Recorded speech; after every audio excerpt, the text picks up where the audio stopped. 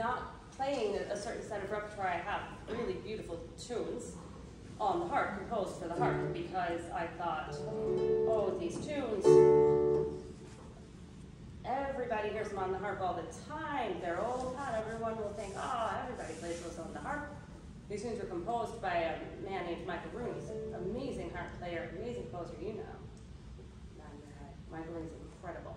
And then I realized recently, very recently, that the harp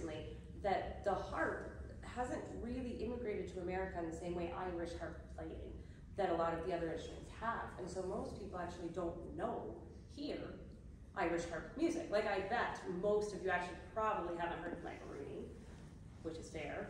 Uh, but in Ireland, if we were playing, everyone has heard of Michael Rooney. I mean, he's like the best harp player, incredible composer.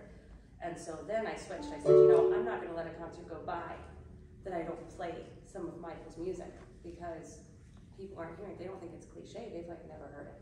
So, incredible music. So these are two subjects. The first one is called Tir Rabhairtaigh. And as you would expect, that word Rafferty is spelled R